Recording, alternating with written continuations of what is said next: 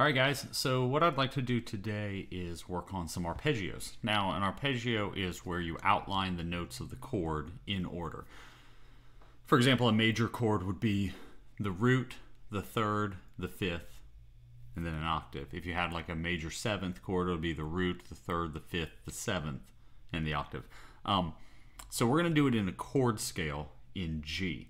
Now there are three shapes, three arpeggio shapes. So let's look at these shapes so that you can kind of move them around on the chord scale. Now if I here on a G and I play a major scale, do, re, mi, fa, sol, la, ti, do, right? And you can familiarize yourself with that scale. G, A, B, C, D, E, F sharp, G. And we're actually going to end up playing it in a minute up G, A, B, C, D, E, F sharp, and G. But we'll get to that in a second. Now, if I take this scale 1, 2, 3, 4, 5, 6, 7 octave, and I play the 1, 3, 5, 1, 3, 5, and then the octave. So it's G, B, D, E. I mean G. G, B, D, G. So practice that little shape. Okay. Now, if I was to make that G major arpeggio minor, it would actually be off of the minor scale, which would be G, A, B flat, C, D, E flat, F, G. And I would go one, three, five, and the octave. One, three, five, octave. G, B flat, D, G. So major, minor. The other shape we need later on is to play diminished. Diminished is the same as the minor, but with a flat five. There's the five, so we actually flatten it.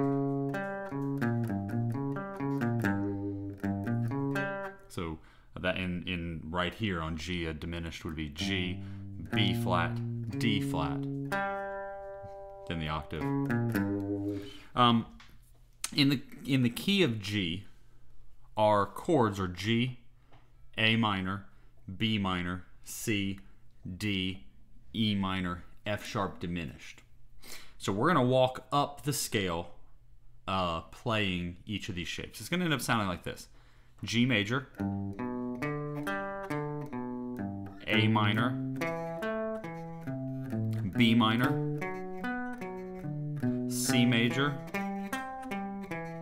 D major, E minor, F sharp diminished, G major. All right, so here's your G major, G, B, D, G. Walk it back. A, A minor, A, C, E, A, walk it back. The B minor, B, D, F sharp, B, walk it back. I can go straight here to the C, C, E, G, C, walk it back, that's a major arpeggio. The D, F sharp, A, D, A, F sharp, D, E minor, that's E, G, B,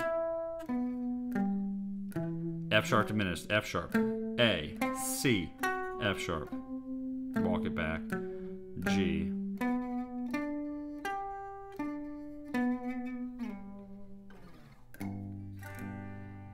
Okay, all together, and if you you know if you set up like a metronome or something to kind of jam with it, um, you can you, you know you can work out like uh, playing like eighth notes or triplets or any sort of variation. This is a great exercise, but also helps you learn the fretboard and some new kind of kind of um, patterns to play. So um, you know, let, let me let, here. Let me set up a metronome real quick, uh, so you can kind of see how how I would practice this. Um, bum bum bum bum bum. So maybe I set up about that speed, like uh, doom, doom, doom, doom. Maybe I just play right on quarter notes, right? G, A minor, B minor, C major, D major, E minor, F sharp diminished, G. Now, if I want to slow that down but play them as like eighth notes, maybe I'll put on some overdrive.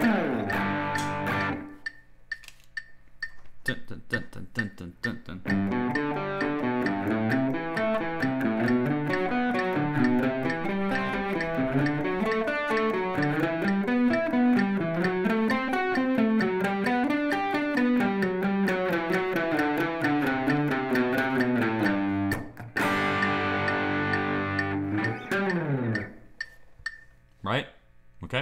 So y'all work on that. Let me know if you have any questions, and we'll see you next time.